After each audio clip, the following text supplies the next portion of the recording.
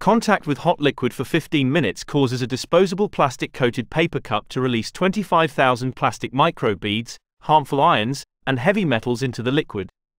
Are you a coffee enthusiast, and does your day start and end with a hot cup of coffee? While enjoying your favorite hot beverage in a ceramic, glass, or metal cup is the healthiest choice, many people still pour hot coffee or tea into disposable paper cups and consume them. These cups may seem better and more environmentally friendly than plastic cups, but in reality, they are not beneficial to health because they are also coated with plastic.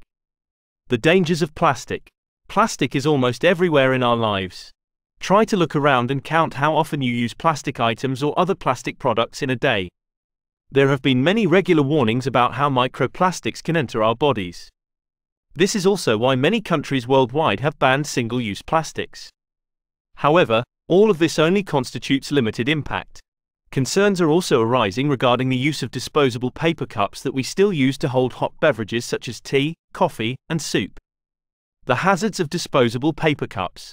These cups may be better for the planet than plastic, but they may not necessarily be good for you. Drinking hot tea or coffee from a disposable paper cup can put you at risk of infertility and gastrointestinal issues. The inside of these takeaway cups is coated with a layer of plastic that can leach harmful chemicals into your hot drink, says Tim Gray, a psychologist and health optimization expert. Gray cites a study conducted by researchers at the Indian Institute of Technology in Kharagpur, in which they poured hot water into a disposable paper cup to observe what would happen. They found that contact with hot liquid for 15 minutes causes a disposable plastic coated paper cup to release 25,000 plastic microbeads, harmful ions, and heavy metals into the liquid. They discovered ions such as fluoride, chloride, nitrate, sulfate, and toxic heavy metals such as lead, chromium, cadmium, and arsenic in the water samples, Gray writes. Gray explains that an average person drinking three cups of hot tea or coffee in a disposable paper cup would ingest 75,000 tiny plastic microbeads into their body.